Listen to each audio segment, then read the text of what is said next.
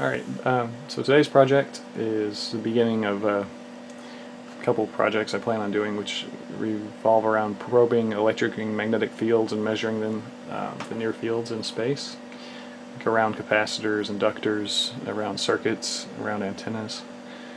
Um, so I'm going to be doing those today with this version of this project. Um, this particular version I have a signal source that's uh, going to be like an electric field well really it's going to be a frequency generator plugged into a, a, coil or a capacitor. Then on this side there's a probe, and that probe goes into this up converter uh, made by SV1AFN, and that converter brings it up to a frequency that will go into the SDR Sharp program um, uh, using an RTL dongle, and the frequency generated is going to be up converted by 200 megahertz for that. That goes into, on the same computer uh, Spectrum Lab is running, and that is going to give us the ability to look at an audio frequency, um, sort of with better resolution. Um, we're familiar with Spectrum Lab, and it does a good job of um, audio frequency spectrum anal analysis. Okay, so this is again, we're going to be, so we're, if we're going to test a 2 megahertz signal coming from an inductor or something, we would tune the SDR to 202 megahertz. The frequency converter, uh, the frequency generator is set to like a little above 2, 2 megahertz. And then Spectrum Lab would then view that difference as 4 kilohertz. Okay? And so we'll go ahead and put down let's see, here's our capacitance probe. It's a PCB where I've just taken off some of the copper.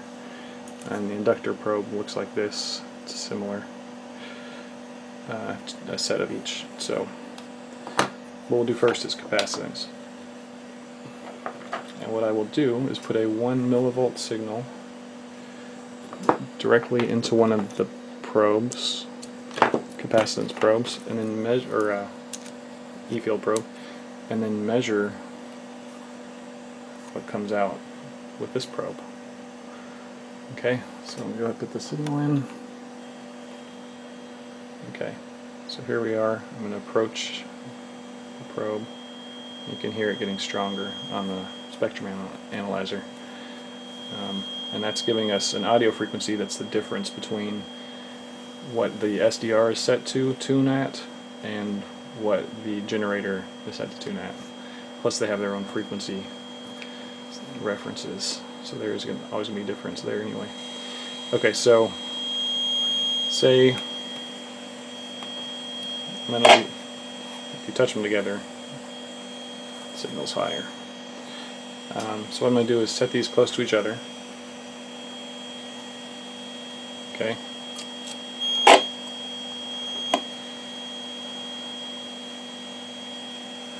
Anyway, there we are. We should see a signal on the spectrum analyzer, which we're going to look at now. This is SDR Sharp. Uh, just real quick, you want to set your frequency correction so you can get a closer measurement versus what your generator is putting out. Uh, looks like we have a signal here at about 32 kilohertz. Okay, 3200 hertz.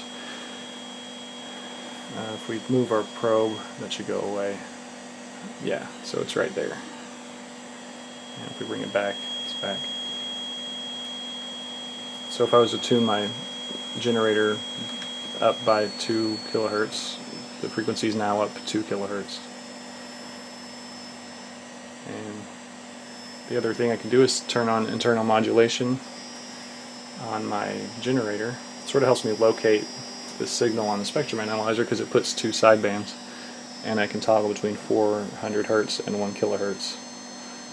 So you can see there are always these other spurious signals that you don't even care about but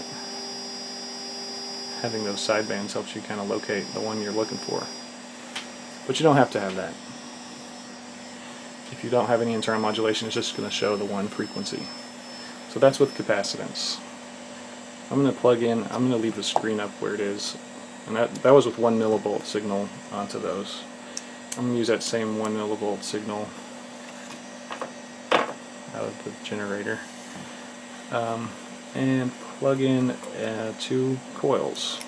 So it's going to be these two coils. When I bring them near each other, I get a signal output. If I turn them 90 degrees to each other, that signal is should be less. Oh, like that, yeah.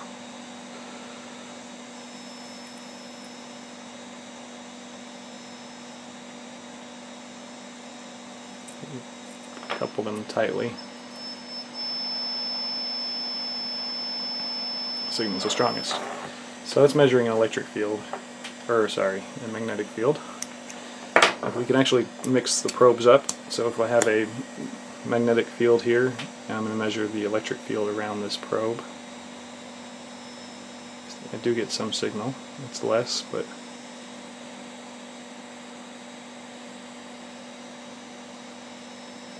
it's there. Uh, we could use a different probe, which is just a coax cable, and well, there's a probe around here somewhere that's just a coax cable with just the tip. Yeah, it's this guy. This is just the just the tip is sticking out there. Um, so whatever field is present right at that tip, that just gives you a higher resolution. I've read about that online. Okay. um, the other thing that I wanted to show, I have an Arduino, a couple things actually. I'll show an antenna and then the Arduino in the opposite order. So here's an Arduino. It's going to have an oscillator of um, 2 of 15 megahertz, or 16 megahertz, I'm sorry. Um, this, it turns out that there is a 16 megahertz signal already. Um, and it's actually, with this Arduino, it's dead on the same as whatever is generated by the computer. There's some 16 megahertz signal floating around. But with this other Arduino, the crystal's slightly off, and I can measure and see a slight difference. I think.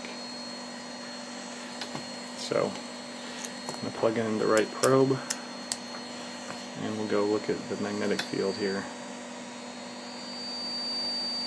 Oh yeah, there's a good magnetic field over that crystal. Pretty much right on that crystal. Um, if we do a capac or a uh, electric field probe, we can look at that at the same area. You know, and then if we used our higher resolution probe, we can show that that works anyway. Alright, so here's my coax end.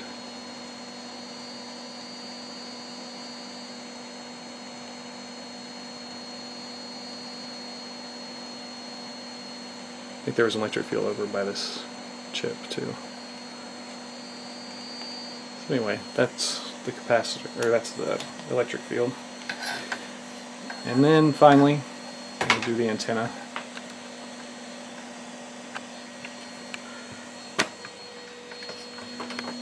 Okay, so here's the antenna.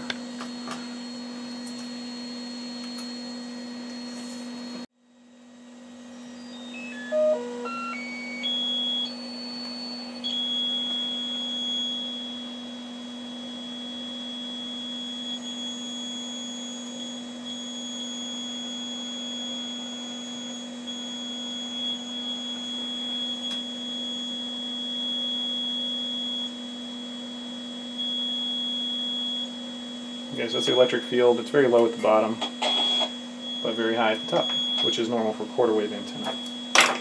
The magnetic field um, in this stays pretty uniform.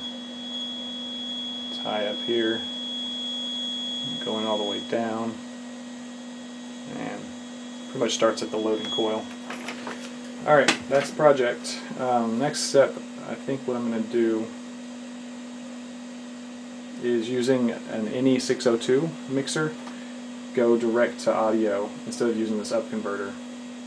The thing I liked about the up converter was it had a good preamp for the low noise amplifier, but I've, it is not working any longer, so um, that would have let me just go straight from the mixer into a sound card. I bought this sound card online, and that adapter will go straight into Spectrum Lab, bypass it, SDR Sharp altogether. But it's a good project. The uh, frequency range, I don't think the the Spectrum Lab, or not the Spectrum Lab, but the converter does very well below like 50 kilohertz. The sensitivity is not as good. It still works, but it's just not as good. The up converter actually works down to DC, but the sensitivity is not as good below about 50 kilohertz. Or maybe 20. Don't take my word for that. Alright, the project.